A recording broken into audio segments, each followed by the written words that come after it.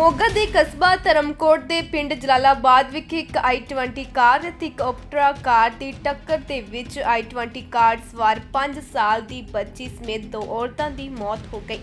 ਜਾਣਕਾਰੀ ਮੁਤਾਬਿਕ ਫਿਰੋਜ਼ਪੁਰ ਦੇ ਕਸਬਾ ਜੀਰਾ ਦੇ ਰਹਿਣ ਵਾਲੇ ਅਮਨਦੀਪ ਸਿੰਘ ਆਪਣੇ ਪਰਿਵਾਰ ਅਤੇ ਰਿਸ਼ਤੇਦਾਰ ਦੇ ਪਰਿਵਾਰ ਦੇ ਨਾਲ ਜੀਰਾ ਤੋਂ ਨਕੋਦਰ ਬਾਬਾ ਮੁਰਾਦ ਸ਼ਾਹ ਦੇ ਮੱਥਾ ਟੇਕਣ ਜਾ ਰਹੇ ਸਨ। I20 ਕਾਰ ਜਦੋਂ ਜਲਾਲਾਬਾਦ ਦੇ ਪੈਟਰੋਲ ਪੰਪ ਦੇ ਨੇੜੇ ਪਹੁੰਚੀ ਤਾਂ ਪਿੰਡ ਵੱਲੋਂ ਆ ਰਹੀ ਇੱਕ ਕਾਰ ਦੇ ਨਾਲ ਟਕਰਾ ਕੇ ਸੜਕ ਕਿਨਾਰੇ ਬਣੇ ਇੱਕ ਛੱਪੜ ਵਿੱਚ ਜਾ ਡਿੱਗੀ, ਜਿਸ ਵਿੱਚ ਸਵਾਰ 7 ਲੋਕਾਂ ਵਿੱਚੋਂ ਇੱਕ ਬੱਚੀ ਅਤੇ ਦੋ ਔਰਤਾਂ ਦੀ ਮੌਤ ਹੋ ਗਈ।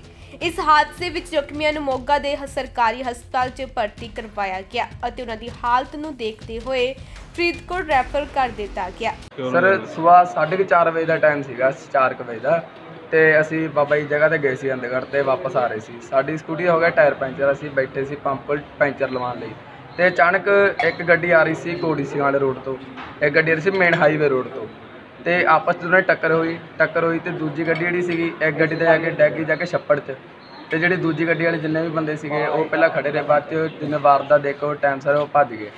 ਭੱਜ ਗਏ ਸਰ ਤੇ ਸਰ ਮੇਰੇ ਨਾਲ ਜਿੰਨੇ ਵੀ ਮੇਰੇ ਸਾਥੀ ਸੀ, ਜਿੰਨੇ ਮੇਰੇ ਭਾਈ ਸੀਗੇ, ਅਸੀਂ ਸਾਰਿਆਂ ਨੇ ਜਾ ਕੇ ਉੱਥੇ ਉਹਨਾਂ ਦੀ ਹੈਲਪ ਤੇ ਉਹਨਾਂ ਨੂੰ ਕੱਢਿਆ ਜਾ ਕੇ ਟਾਈਮ ਸਰ ਕਿ ਸਾਨੂੰ ਪਤਾ ਲੱਗਿਆ ਕਿ ਉਹ ਸਾਰੀ ਫੈਮਿਲੀ ਆ, ਸਾਰਿਆਂ ਨੇ ਮੇਰੇ ਜਿੰਨੇ ਵੀ ਭਰਾ, ਸਾਰਿਆਂ ਨੇ ਨਾਲ ਹੈਲਪ ਕੀਤੀ ਸੀਗੀ ਸਰ ਕੱਢਣ ਵਾਸਤੇ। ਤੇ ਸਰ ਬਾਕੀ ਫਿਲਹਾਲ ਹਲੇ ਤਾਂ ਸਭ ਠੀਕ ਨੇ। ਐਮਰਜੈਂਸੀ ਸਾਹਿਬ ਨੇ ਆਏ ਹੋਏ ਨੇ। ਬੱਚੀ ਹੈ ਜਿਹੜੀ? ਹਾਂਜੀ ਛੋਟੀ ਸਰ ਇੱਕ ਨਾਲ ਉਹਨਾਂ ਬੱਚੀ ਸੀ 5-6 ਸਾਲ ਦੀ। ਉਹ ਵੀ ਥੋੜਾ ਸੀਰੀਅਸ ਉਹਨਾਂ ਦਾ ਕੇਸ ਵੀ ਬਾਕੀ ਸਭ ਠੀਕ ਨੇ।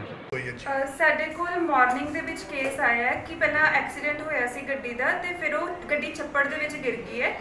ਤੇ ਸਾਡੇ ਕੋਲ 7 ਕੇਸ ਆਏ ਨੇ ਜੀ ਟੋਟਲ ਜਿਨ੍ਹਾਂ ਵਿੱਚੋਂ ਦੋ ਬ੍ਰੌਡ ਡੈਡ ਸੀ। ਇੱਕ ਇੱਕ ਇੱਥੇ ਐਕਸਪਾਇਰ ਹੋਇਆ ਤੇ ਤਿੰਨ ਨੂੰ ਅਸੀਂ ਰੈਫਰ ਕਰ ਦਿੱਤਾ। ਇੱਕ ਕੋਈ ਪੇਸ਼ੈਂਟ ਬਿਲਕੁਲ ਠੀਕ ਸੀ ਜੋ ਉਹਨਾਂ ਦੇ ਨਾਲ ਚਲਾ ਗਿਆ ਜੀ। ਟੋਟਲ ਤਿੰਨ ਦੇ ਤਿੰਨ ਟੋਟਲ ਤਿੰਨ ਡੈਥਸ ਨੇ। मोगत चमकोर सिंह लोपो रिपोर्ट।